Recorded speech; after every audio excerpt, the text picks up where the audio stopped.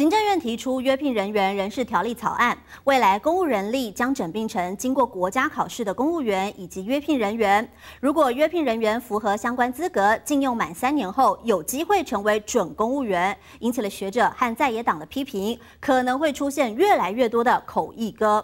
不过，人事行政总处强调，国考的公务人员制度依旧是主轴，约聘成为。约聘人员并不会成为公务员，也不会破坏当前文官考试制度。口译哥赵怡翔以外交部长办公室主任身份外派担任驻美代表处政治组组长，遭批评。现在行政院提出约聘人员人事条例草案，外界担心透过国考任用的公务人员越来越少，聘约人员越来越多，未来政治体系中有越来越多口译哥进来以后，那过了一阵子啊，这可以就是漂白。那占个缺，这次的做法是养小鬼的做法。现在很多年轻人你要进去监军啊。学者提出担忧，认为政府主要用意是培养亲信，立委也有意见。是不是筹庸要筹好筹满？而且这绝对会破坏我国的文官体制。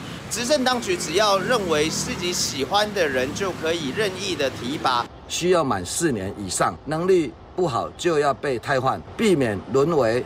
政治筹庸。草案内容，依职责和资格分一到五等，五等要有博士学位，得从事相关职务至少八年；而三到五等，经用满三年后就能担任或兼任研究、实验、专业科技等职务。政府机构也能留住人才，强调聘约人员受政府用人管控，不会有用人腐烂的状况。他身份还是聘约人员，他不会变成公务人员职等，不会的，不会转成公务人员了。他薪水还是用聘约人员。像外交或者一般行政机关，他们很多这种公权力事项，我们是一点都不会考虑。解释目的是要约聘雇人员法制化，不会影响正常公务人员升迁。只是消息一出，恐怕先让公务员心惊惊。记者陈永林、凯军特别报道。